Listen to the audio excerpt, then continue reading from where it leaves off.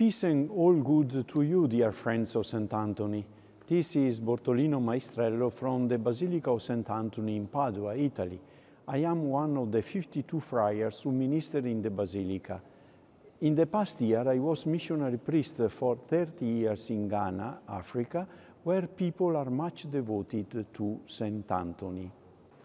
I am here in the chapel of St. Anthony's Relics to inform you that from Friday, November the 29th to Sunday, December the 8th of this year, two of St. Anthony's relics will be visiting the Catholic Diocese of San Diego in the state of California.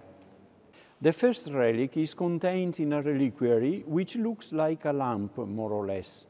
There we have fragments of St. Anthony's skin, the reliquary will be fixed on a golden statue of St. Anthony and devotees will actually be able to touch it. The second reliquary contains a fragment of St. Anthony's floating rib, and it is particularly dear to me because in 1995, when we were celebrating the 800th anniversary of St. Anthony's birth, this relic traveled from Padua to Portugal, where St. Anthony was born, and was venerated by Sister Lucy, one of the three seers of Fatima in the Carmelite convent in Coimbra.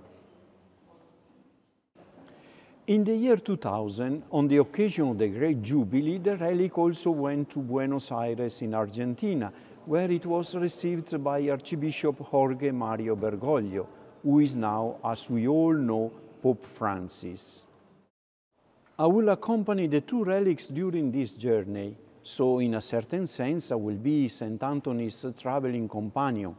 Please have a look at the program on our website.